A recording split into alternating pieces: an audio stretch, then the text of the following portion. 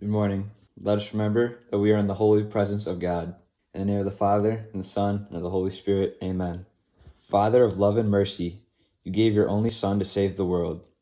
During this time of uncertainty, we ask that you guide us so we don't let worldly distractions or human emotions separate us from your Son's saving power. We reflect on the words of St. John's Gospel. For God so loved the world that he gave his only begotten Son, that whoever believes in him should not perish but have eternal life. For God sent the Son into the world not to condemn the world, but that the world might be saved through him. We ask for a special blessing to those celebrating their birthday today Brady Johnson and Derrelle Murray. We ask all this through Jesus Christ our Lord, who lives and reigns with you in the Holy Spirit, one God, forever and ever. Amen. St. John Baptist de La Salle, pray for us. Live Jesus in our hearts forever. In the name of the Father, and the Son, and the Holy Spirit. Amen. Have a good day, pilots.